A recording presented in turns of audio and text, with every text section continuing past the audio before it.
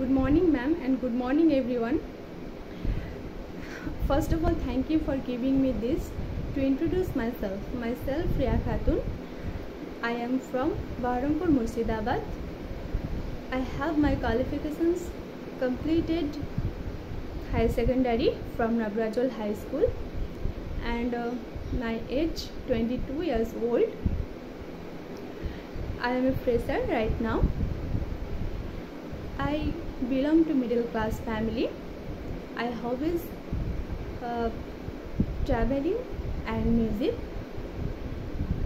There are four members in my family, including my parents, my husband, and uh, my daughter and me. Thank you very much listening to me patiently. Thank you.